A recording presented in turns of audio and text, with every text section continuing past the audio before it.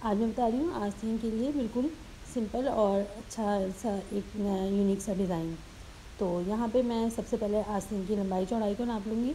तो यहाँ हमें जो हमें नॉर्मल अपनी लंबाई होती है आस्तीन की, उससे हमें तकरीबन तीन से चार इंच एक्स्ट्रा रखनी होगी।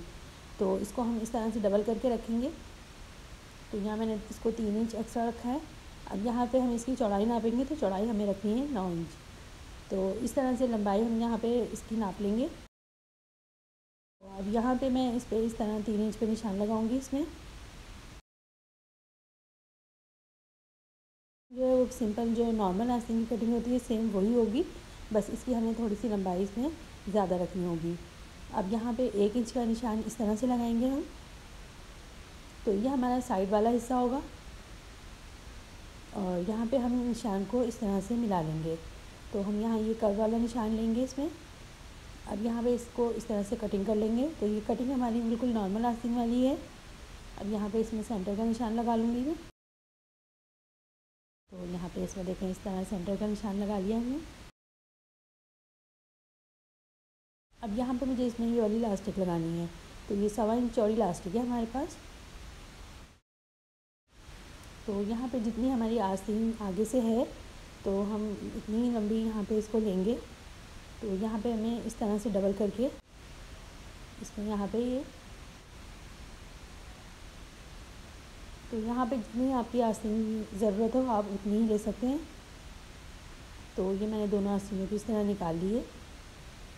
अब यहाँ पे हमें कुछ भी नहीं करना है, सिर्फ़ इसको यहाँ पे इस तरह से, जिस तरह हम नेफा बनाते हैं, इस तरह से इसको फोल्ड कर लेना है। तो यहाँ पे लास्टिक को इस तरह रखेंगे और इस तरह यहाँ बारीक सा मोड़ते हुए इसको इस तरह मोड़ लेंगे। तो अभी लास्टिक को मैं हटा दूँगी। और पहले मैं इसको यहाँ पे इसमें नेफा बना लेती हूँ।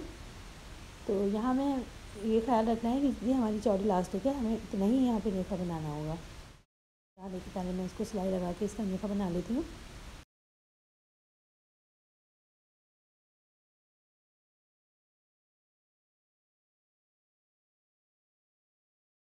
तो यहाँ देखिए, मैंने इसको इस तरह से नेफा बना लिया है। अब यहाँ पे हमें किसी भी पेन की वजह से इस लास्टिक को इसके अंदर गुजारना होगा।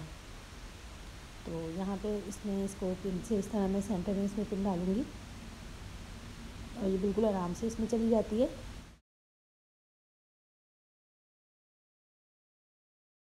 तो यहाँ एक सिर को हमें पकड़ के रखना है ताकि जो है यहाँ पे प्लास्टिक यहाँ से निकल ना जाए। तो अब यहाँ पे इसको पूरा पिरो लेंगे हम।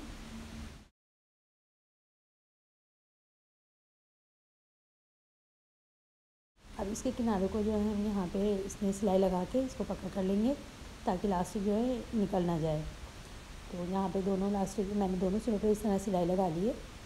अब यहाँ पे देखें, इसको इस तरह से खींचूँगी मैं तो ये इसमें हर तरफ़ बराबर की चुने आ जाएँगी। तो यहाँ देखें, इसमें इस तरह बराबर की चुनें आ गई हैं पूरे में। अब यहाँ पे इसमें एक सेंटर की सिलाई लगाएँगे हम।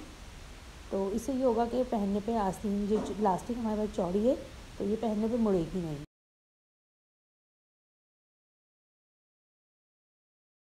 यहाँ पे इसको डबल फोल्ड करके हम साइड की सिलाई लगा लेंगे और साइड की सिलाई भी हमें वही लगानी होगी, जो हम नॉर्मली लगाते हैं। तो यहाँ पे बस एक इंच का मार्जिन देते हुए पूरी सिलाई लगा लें। तो अब मैं इसको सीधा करके दिखाती हूँ आपको। तो ये देखते हैं सीधा करके बिल्कुल बलून वाला इसमें लुक आ गया। इसको शर्ट के साथ लगा के दिखाती हूँ आपको। तो ये देखो हमारा आस्तीन डिज़ाइन जो है वो तैयार है।